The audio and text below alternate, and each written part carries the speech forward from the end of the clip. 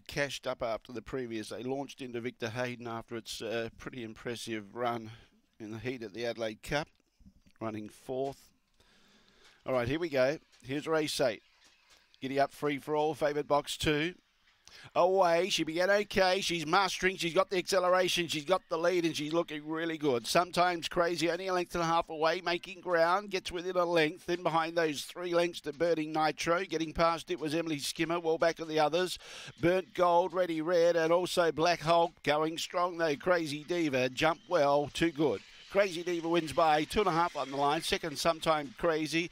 Emily Skimmer. Then behind those was Burning Nitro. A gap to Burnt Gold, Ready Red, and the last one to pull up was Black Hulk, about five lengths away, and she's gone 22.77 here today.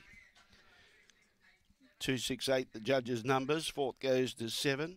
22.77 the time. The run home was 14.07, 14.07 three and a quarter, the winning margin. One and a half between second and third. Two, six, eight, and seven. She did the right thing. She jumped okay.